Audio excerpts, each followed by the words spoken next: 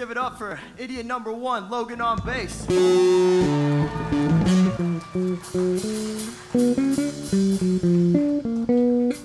Idiot number two on guitar, Devin.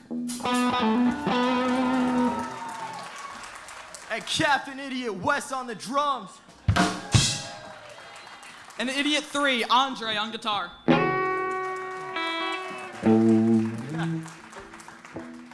Let's go.